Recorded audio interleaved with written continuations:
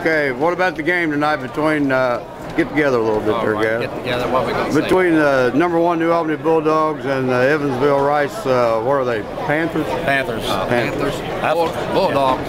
Okay. I think, it's, I think it's about time for New Albany to get this monkey off their back. It's been about 10 years since we got out of the regional, and tonight's the night we're going to get out of this regional. Charlie? I, I, I said the same thing, and we just need to do that, and we're going to do it, and we're going to play real well tonight. We know how to, to to defend them, and I think it's going to be the key to the game. Us defending them and taking things away from them, then we will win tonight. Do we have a prediction? Uh, score wise, Yeah. yeah, uh, nine points. Billy? I'm saying 79, 68 New Albany. All right, you heard from the old There go. pros right here. Charlie Bennett and Billy Howler, the old pros. Take, take it to the press. Go dogs. Take it to the press.